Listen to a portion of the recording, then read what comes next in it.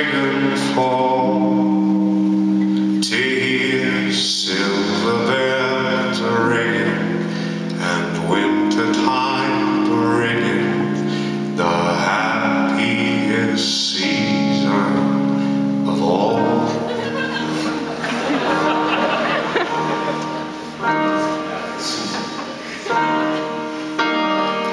Just